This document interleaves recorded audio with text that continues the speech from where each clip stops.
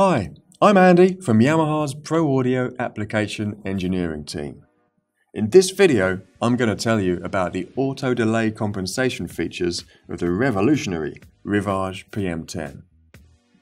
When you get to know the versatility of the plug-in processing and the routing flexibility of the system, you will understand how delay compensation can assist the engineer to obtain a superior sound. Firstly, each input channel can have up to 8 plugins inserted in two different positions of the signal chain. But it's likely that some channels will be given no additional inserts, while others have several. So, they would start to come out of alignment and may start to cause comb filtering if they have coherent signals. By enabling delay compensation, Additional delay is added to the channels with fewer or no plugins until all the channels have equal latency again.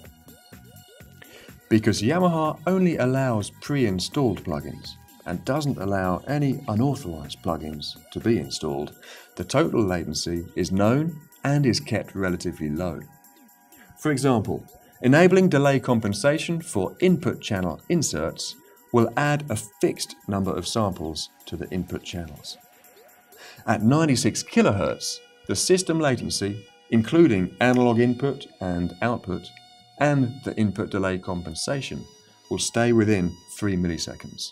So it's still suitable for standard in-ear monitoring applications.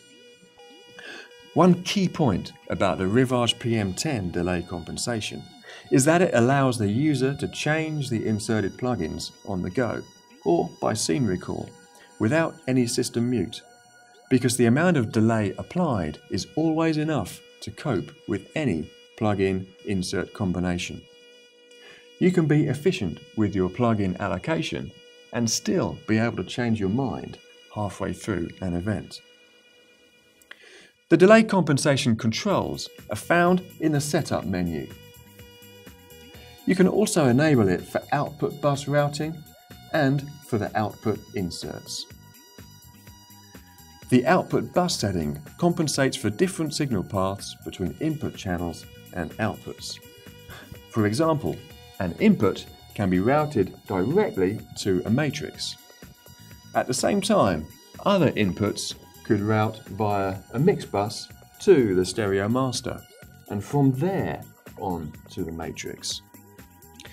Delay compensation will keep these different paths coherent. It allows a much simpler setup procedure for advanced mixing techniques such as parallel compression. This setting adds a very small amount of additional latency, so it's worth keeping enabled for just about every job.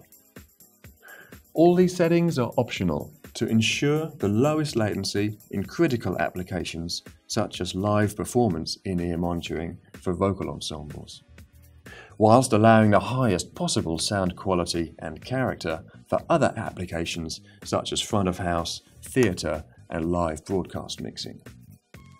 This is the Yamaha Rivage PM10. Enjoy its attention to detail.